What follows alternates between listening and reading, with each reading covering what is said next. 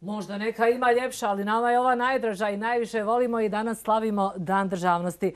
Poštovani gledalci, u nastavku programa razgovaramo sa profesorom doktorom Suadom Kurče-Hajećem, profesorom na Fakultetu političkih nauka Univerziteta u Sarajevu. Sretan Dan državnosti, dobro nam došli. Sretan Dan državnosti i vama i svim građanima Bosne i Hercegovine. Evo, ponavljamo već koji put da se ne zaboravi da je upravo na današnji dan, prije 70 godina, obnovljena državnost Bosne i Hercegovine u Mrkonjić gradu na temeljima, odnosno u granicama srednjevjekovne Bosne i Hercegovine. Pa da vam kažem, ja sam već nekoliko puta pomenuo da od kad je Bosna izgubila svoju državu, 1463. godine, to je bila jedna srednjekovna država koja u jednom periodu bila najjača država na Balkanu u vrijeme Tvrtka prvog Kotromanića, o čem govore čak i srpski istoričari ne postoji do tog momenta značajni događaj koji se desio na prostoru Bosne i Hercegovine od tog 25. novembra 1943. godine. Zašto? Jer tada su se prvi put, od kad Bosna postoji, e, njeni narodi, odnosno predstavnici njenih naroda, slobodno našli i odlučili bez ikakvih pritisaka sa strane šta žele sa Bosnom i Hercegovinom i kakvu Bosnu i Hercegovinu hoće. I to je bila situacija da se je sastalo 247 delegata iz cijelog prostora Bosne i Hercegovine koja je tada bila oslobođena u dvotrećinskoj teritoriji u situaciji kad je Evropa bila zahvaćena plamenom. Tito je znači uspio praktično sa svojim partizanima, bilo ih je, odmah da vam kažem, u Bosni, 23 bosansko-hercegovačke brigade, 25 partizanskih odreda, dvije divizije, jedan korpus koji su jednostavno zajedno sa drugim jugoslovenskim e, brigadama i odredima napravili takvu situaciju i stvorile su pretpostavku da se taj događaj može održati u uh, Mrkonjić gradu. I ono što je interesantno, uh, ti 247 delegata, oni su činili osnivačku skupštinu Zarnobiha, ali nisu oni odlučivali. Oni su tek trebali da izaberu vijećnike. To je bio jedan uh, oblik, ja bih rekao, posebnog izbora. Mi sad imamo neposredne izbore, ali to se nije moglo u ratu držati. Kako se to desilo? Pa desilo se tako što je osnivačka skupština glasala za vijećnike Zabrobiha. Prijedlog je bio 173 vijećnika i nije se skupno glasalo da ne bi sada jednostavno to jednostavno prošlo. Dalo se da se o svakom izjasne delegati osnivačke skupštine. I oni su o svakom pojedinačno se izjasnili pozitivno, ali mogli su i drugačije reći za nekoga. I tad je tih 173 vijećnika jednostavno konstituisalo Zavno bih i donijelo odluke. Jedna od odluka je bila da se oformi prezidijum Zavnobiha koji je činio 31 člana i bilo je pet članova predsjedništva na čijem je čelu bio predsjednik predsjedništva Vojislav Kecmanović-Dedo. Poslije toga prvi podpredsjednik je bio tada musliman, današnjim kategorijama govorimo o bošnjacima, bio je Avdo Humo. Drugi podpredsjednik je bio Hrvat Aleksandar Prekić iz Hrvatske seljačke stranke. Treći je bio Srbin Đuro Pucar Stari i sekretar je bio Avdo Humo. Znači, birao je jedan odnos koji je odgovarao Bosni i Hercegovini. Dva Srbina, dva tad muslimana i bio jedan Hrvat. I onda su oni zasjedali, znači kompletno uh, vijeće uh, Zavnobiha, i tad su donijeli dva najznačajnija dokumenta. Jedan je bio proglas narodima Bosne i Hercegovine, proglas u smislu borbe protiv neprijatelja i domaćih izdajnika, a drugi je bio rezolucija Zavnobiha. Ta rezolucija Zavnobiha ima šest tačaka ili šest zaključaka. Nama su najznačajnije ja, zaključci 4-5. Četvrti govori o tome da jednostavno narodi Bosne žele zajedno da žive u jednoj zajedničkoj državi sa ostalim narodima, znači u toj novoj Jugoslaviji, a zaključak broj 5 govori da narodi u Bosni i Hercegovini žele da žive uz bratimljenoj zajednici ravnopravnih naroda i da Bosna i Hercegovina nije ni srpska, ni hrvatska, ni muslimanska, već i srpska i hrvatska i muslimanska. E sada šta taj termin u stvari znači?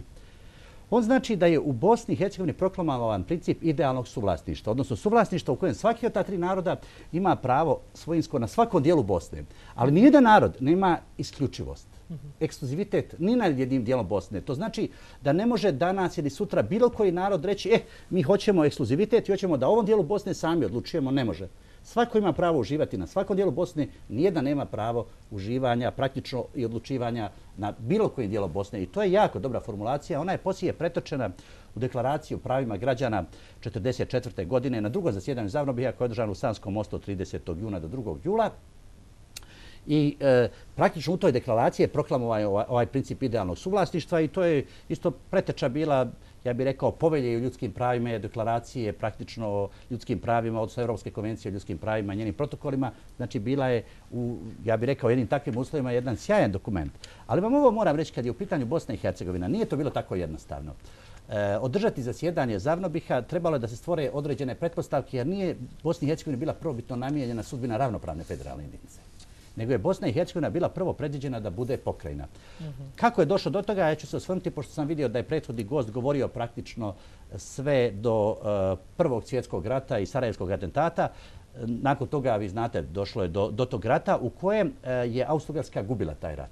U takvoj jednoj situaciji se desilo da uh, je došlo do razgovora o stvaranju nove praktično države, stvaranje zajedničke države Južne Slovena, I razgovori su vođeni na ostrovu Krfu. Bili su razgovori između Jugoslovenskog odbora, koji je predstavljao Ante Trubić, koji je bio Hrvat, i vlade Kraljevine Srbije, koji je predstavljao Nikola Pašić. Moram reći da početna pozicija Jugoslovenskog odbora nije bila baš povoljna, iako ideja Jugoslovenska je bila lijepa ideja. To je jednom sidan rekao da su najljepši sinovi Južnih Slovena stvorili tu zajednicu. Međutim, startna pozicija Srba je bila u jednoj prednosti, jer su oni na neki način bili e, sa stranama pobjednicama. A i Bosna, je prostor Bosne i Slovenije i Hrvatske našao se u Austro-Ugarskoj koja je jednostavno bila poražena. Tako da ono što je diktirano od srpske strane jeste da to mora biti monarhija, ali na čelu sa srpskom dinastijom, Karadžorđevića, da mora biti unitarna, to znači da jednostavno nema unutrašnjih granica i da mora biti centralistička sa vlašću koja će biti diktirana iz Beograda. Nije to bilo po volji ni Hrvatima, ni Slovencima tada, ali jednostavno u okolnostima koje su bile, oni su to prihvatili. Prvo se stvorila privremena država u oktobru mjesecu Slovenaca, Hrvata i Srba, ali na prostoru bez Srbije. Da bi se onda razvinom adresa desilo 1. decembra da je regent Aleksandar Karadžorđević, jer mu je otac Petar bio još živ, proglasio to južnoslovensko ujedinjenje.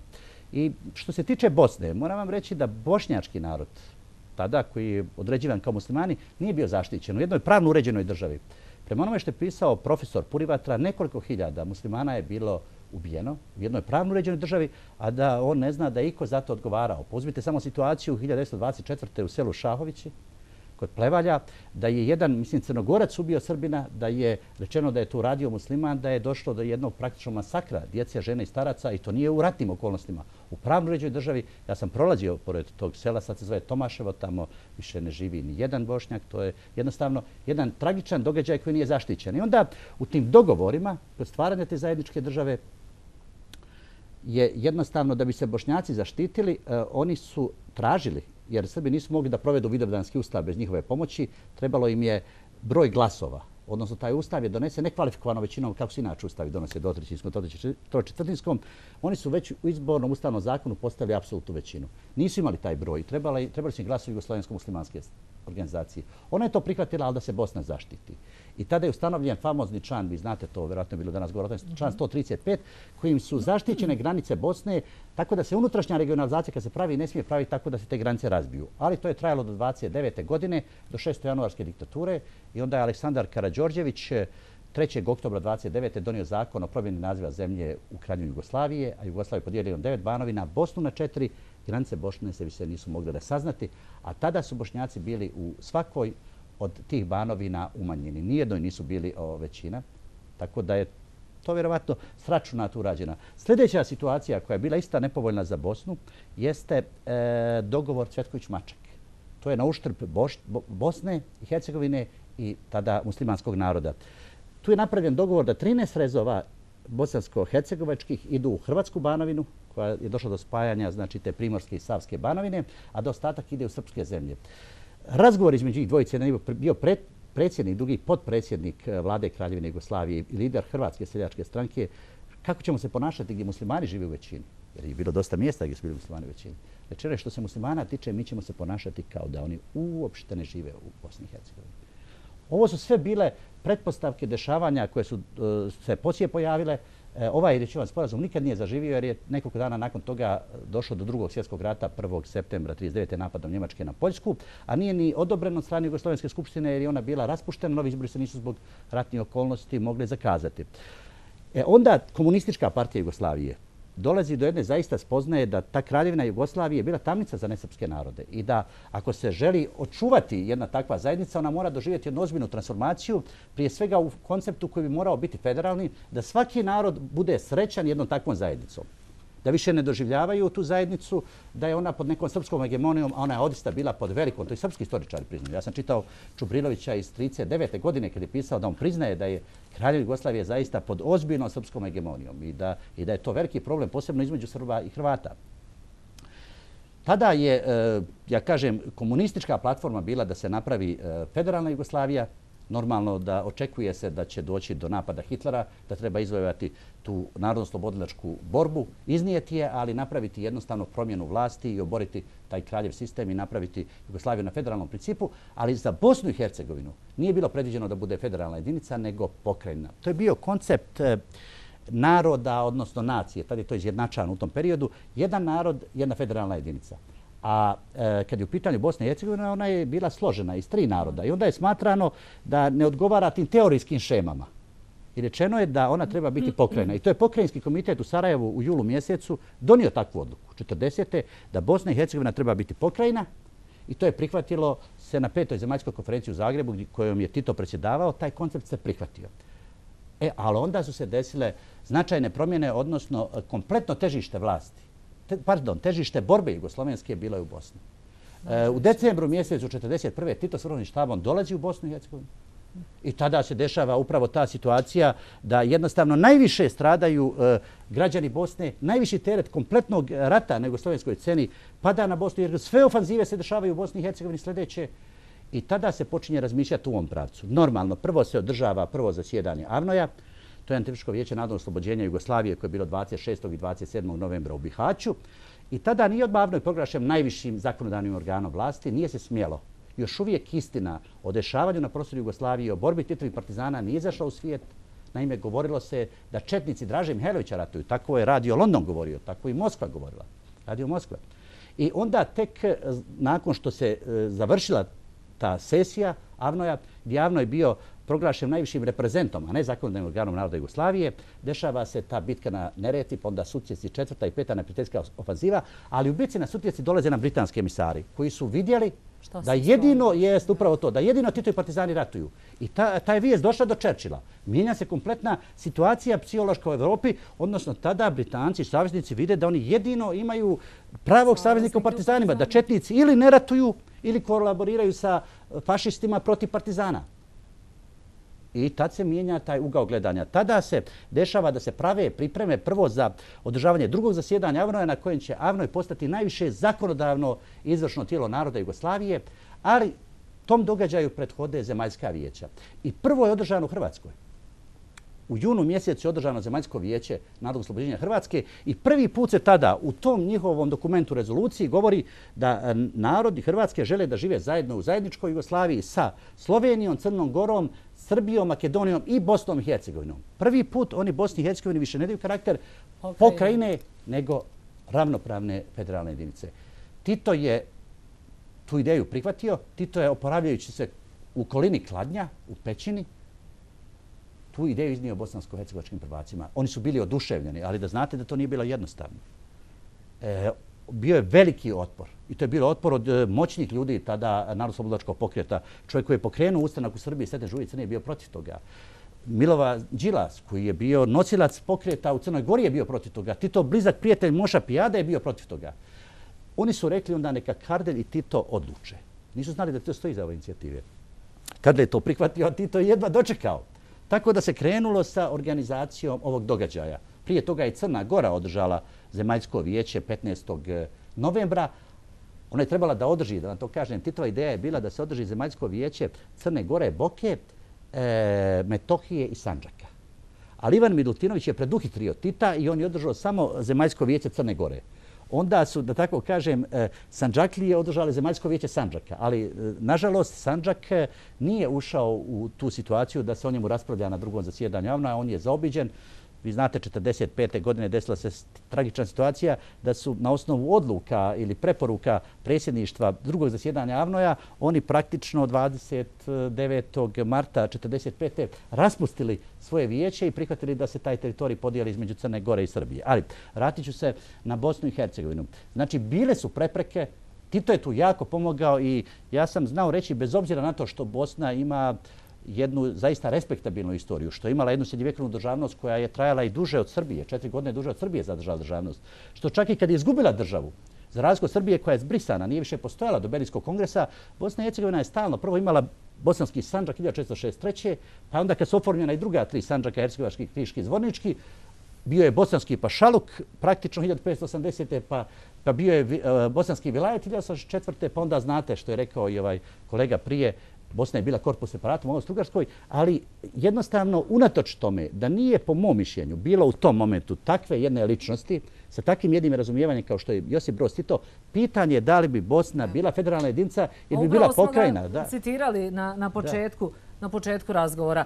Ako dozvoljavate, profesore Vanja, ja se izvinjavam, uh, Gojko Vukadinović, koji je tada bio u Skoju, u Saoju, je kazao da nije bilo Zavnobihovske, jeli, Zavnobiha, da nije bilo tadašnje Bosne i Hercegovine, ne bi bilo ni današnje Dejtonske Bosne i Hercegovine. Preskačemo ovaj jedan period, znamo kad se desila agresija, nezavisnost, referenc, sve to. Dolazimo do, evo, 20 i nekoliko godina nakon početka agresije, nakon svih tih dešavanja i dalje i dalje postoje otpori prema Bosni i Hercegovini cjelovitoj, e, čija je državnost obnovljena prije 70 godina. Evo, ljudi su e, slušali šta se sve uh, govori, na koji način se negira uh, Bosna i Hercegovina. Vanja želi dodati. Ne, ne, evo, čuli smo kroz izlaganje da su nerijetko ljudi iz svijeta imali pogrešne ili površne informacije o Bosni i Hercegovini u Jugoslaviji, pa onda u samoj Bosni i Hercegovini. Ima li svijet sad prave informacije o nama?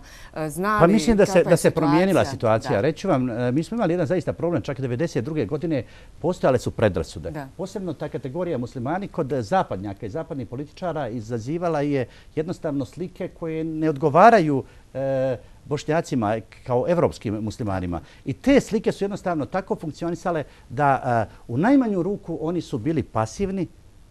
Pa mislim da je danas i Levi koji je postao počasni građanin Sarajeva rekao nešto u tom smislu da Mitterrand, iako je tako široko dočekan u mhm. I tako su mu, ja bih rekao, pružili sve moguće ovacije. On kad je uh, otišao iz Sarajeva, on ne samo što ništa nije uradio da pomogne Bosni i Hercegovini, nego je imao ogromnu moć i tu moć je iskoristio tako da blokira i one koji su htjeli da pomognu. To je zaista jedna tragična situacija. To je zbog jedne, ja bih rekao, krive predstave prema bošnjacima islamske vjeroispovijesti. I uh, ja moram reći da uh, nije bilo Amerike, da smo bili oslanjeni samo na Evropu, pitanje je da li bi danas Bosna i Hercegovina uopšte postojala i možda bi se e, desilo ono predviđanje Karadžića da bi tad možda nestao bošnjački narod, jer zaista Evropa se ponašala tako da je pustila da Karadžić i Srbi odrade posao i da onda imaju politiku svršenog čina. Amerikanci su, kad su odlučili da djeluju, onda znam da je Clinton rekao mi ne možemo jednostavno ovo posmatati. Izvještaji CIA ukazuju da su bosanski Srbi uradili 90% zločina, bosanski Hrvati koji su najmanje brojni 7%, a bosanski muslimani koji su najviše stradali i koji, od kojih se očekivala, ja bih rekao, odmazda s obzirom na to njihovo stradanje, bar u mjestima gdje su oni bili u velikoj većini, da uopšte nisu posegli za tom odmazdom, da nisu pravili uopšte takvu vrstu politike i da je to bilo na neki minoni 3%, to je bila očigledna nesrazmjena u, u tim zločinima. I kaže mi, ne možemo stajati e, e, skrštenih ruku, jer islamski svijet će onda s pravom reći da mi imamo dva aršina. Jedan, kad treba intervenisati protiv islamske zemlje, onda začas posljedimo konsenzus, a kad treba zaštititi zemlju gdje su muslimani u većini, onda ne reagiramo. I još ću vam reći, mislim da je tu najveći problem jedan. U Evropi imate vi e, muslimana e, više u Francuskoj nego u Bosni i Hercegovini. Ali oni su tamo inkorporirani kao francuzi. U drugom smislu, jedino su u Evropi muslimani kao bošnjaci politički narod. I nigdje više i bošnjaci su praktično u relativnoj, možda će sad biti čak i apsolutoj većini nakon ovog popisa. Iako sam ja rekao da mi moramo voti računa o jednoj stvari. Nikada, jer je Bosna zasnovana na principima Zavnobiha i ti principi su, iako je Dayton bio jedna nakaradna varijanta, ja bih rekao, nekog konsenzusa, zaista to je bilo loše političko rješenje, To je bilo e, možda i bezobrazno političko rješenje, jer je situacija u Daytonu bila da se kazni politika Karadžićevi Srba, da se pokaže da se takva politika ne smije voditi. Mislim da e, e, nije u Bosni dominirao narod koji je islamski, u svojoj religiji da možda ne bi tako bilo. Mislim da je još uvijek bila tako jaka predasuda i da su ta rešenja koja su napravljena, napravila okove Bosni, sad ista ta Evropa, gdje je tri praktično zemlje koje su članice kontakt grupe, traži od nas da ispunimo uslove, a sama nam je ona nametnula ta, te probleme kad se moglo puno drugačije riješiti. Pozicija, ja bih rekao, Karadžićevi Srbija nije bila nikakva u Daytonu. Oni su već izgubili znatan broj teritorija koje su kontrolisali. To se je moglo uraditi da uopšte ne postoji Republika Srpska ni u procentu ni u nazivu. A najmanje se moralo uraditi da ne postoji u nazivu. Da se ne bi jednostavno išlo na neprekidno razmišljanje o mogućoj disoluciji Bosne i Hercegovine. Evo, dođu smo do Dejtonskog sporazuma, tada jedinog i najboljeg rješenja. Danas kočnice razvoja Bosne i Hercegovine, ustavnih promjena, kako preživjeti Dejtonski sporazum danas, kako napraviti ustavne promjene koje su nam neophodne. Vidite, da vam kažem, e, e, ja sam o tome govorio prije nekoliko dana kad je bila gorsa Dejtonskog sporazuma, ali pošto je danas e, dan državnosti Bosne, ja bih nešto drugo htio da kažem. Vi ste vidjeli da Dodik je govorio jučer da je ovaj praznik nelegalan, da ovaj praznik nema osnovu Dejtonskog sporazuma. Pa sam htio da kažem nešto što je jako važno da naši građani i pravnici sagledaju i vide. On kaže da je jednostavno Bosna ovakva kakva jeste kreirana Dejtonskim sporazumom i da mi nemamo jednostavno pravo da uh, uvažavamo te praznike jer oni nisu konsenzusom napravljeni. Odmah ću vam reći, dan uh, državnosti ili praznik, 25. novembar se slavio i u Avnojevskoj Jugoslaviji kad je za Bosnu i Hercegovinu. Znači, to je bilo zakonom o 69. godine. 95. godine u martu donesen je ponovo zakon kojim se to ponovilo pošto je promijen naziv, ranije je bila Socijalistička republika Bosna i Hercegovina, a sad je bila samo Republika Bosna i Hercegovina. Tako da je stari zakon bio automatski suspendovan, novi zakon je stupio na snagu, ali sa istim e, obilježima da se 25. novembar slavi kao dan državnosti Bosne i Hercegovine. Kada je donesen Dayton, on sadrži u sebi u ustavu koji je aneks 4, dva dodatna aneksa. Znači, aneks 4 sadrži dva dodatna aneksa. Prvi se tiče, ja bih rekao, konvencija dodatnih o ljudskim pravima, a drugi aneks na aneks 4 tiče se prelaznih odredbi. I tu stoji u prelaznim odredbama stupanjem na snagu ovog ustava, znači Dejtonskog ustava, ostaju na snazi svi oni zakoni, propisi, sudski postupci koji nisu u suprotnosti sa ovim ustavom. Sve dok nadležni organ ne promijeni to. E, hajmo sad da analiziramo. Da li je e, slavljenje 25. novembra i zakon koji je donesen e, o proslavi 20. u suprotnosti sa Daytonom. Ja ne vidim da je i u čemu suprotnosti sa Daytonom. Znači, to je zaista jedan veliki događaj, jedan znači događaj kad su preci današnjih Bošnjaka, Srba i Hrvata zajedno odlučili da stvore Bosnu koja će biti, ja bih rekao, po principu e, idealnog suvlasništva, zajedničkog suvlasništva i koji su se zajedno odlučili da se suprostave velikosrpskim i velikohrvatskim aspiracijama i s jedne i druge strane i to je nešto što se potpuno integriše ne samo u odredbe Dejtona, nego i u duh Dejtona. Duh Dejtona je bio da Bosna zaživi. Duh Dejtona je da Bosna bude jedna prosperitetna zemlja e, koja će ući u Evropsku uniju i Severoatlantske integracije. To je bio zamisao nisu zamišljali da će do te mjere biti obstrukcija. Znači, ako uzmemo ovaj zakon o proslavi dana e, državnosti, on se ne kosi. On se uklapa u ovu odredbu da nije u suprotnosti sa ovim ustavom. Koja je mogućnost da se on promijeni? Jedino se može promijeniti to na parlamentarnoj skupštini Bosni i Hercegovine. Ali da budemo iskreni, Dodik tu neće moći naći konsenzus koji je našao za smjenu Šarovića. To je jedna stvar. Druga stvar je, pošto je Majkićka govorila da je u najmanju ruku nekorektno da se uzima za dan državnosti datum koji je vrijedio u bivšoj Jugoslaviji, a da su jedino Srbi se trudili da se ta Jugoslavija sačuva, da su ostali narodi među kojima i bošnjački narod bio taj koji je razbio Jugoslaviju, ja bih htio nešto da kažem. Po mom mišljenju, e, najveći generator jugoslovenske krize je bio Dobrica Ćosić. Kako god mi mislili, znači, eto, jedan čovjek je napravio toliko problema jer je on svoju viziju da je Jugoslavija promašaj za Srbe uspio da imputira svojim najbližim prijateljima, vrhovskim intelektualcima Srbije. Oni su sve to pretočili u memorandum Sanua u kojem se prvi put postavlja pitanje da li su se Srbi ostvarili ili nisu u jednoj takvoj Jugoslaviji. I tu se i zahtjeva ili će se Jugoslavija urediti po srpskim zahtjevima ili će Srbi tražiti svoje rešenja van te Jugoslavije, ali tad se Avnojevske granice neće uvažavati, a one su već postale ustavnim rešenjima državne granice. Svi ustavi Bosne, ja sam ih iščitao 46. 63. 74. sa svim amandmanima govori da je Bosna i Hercegovina država. Isto i sa drugim federalnim jedinicama. To se nije moglo negirati. E sada, trebalo je naći realizatora takve politike. To je bio Slobodan Milošević. To čovjek koji možda nije bio nacionalista, ali bio vlastodržac. Svaka politika koja će njemu omogućiti da dođe na vlast i da očuva vlast njemu je bila prihvatljiva, ali da on bude na njenom čelu. I tad je bila ta politika aktuelna i tada sa takvom politikom, ja bih rekao, Milošević i Ćosić su ojadu zabavili cijeli jugoslovenski narod. A ovo ću iskreno reći, bošnjački narod je volio Jugoslaviju. I sigurno je bio privržen i bošnjačkom narodu Jugoslavija odgovarala najmanje kao i srpskom. Jer e, šta se desilo razbijanju Jugoslavije? 200.000 je ostalo bošnjaka u Srbiji, 100.000 u Crnoj Gori, 50.000 na Kosovu, 50.000 u Makedoniji. Ali je problem bilo što jednostavno e, nije bilo e, političkog sluha. Problem je bio što moment kad su e, bošnjaci e, počinjali biti ravnopravni sa Srbima, Srbi su doživljavali kao da su ugroženi. A da ne govorim kad je u pitanju Albanac.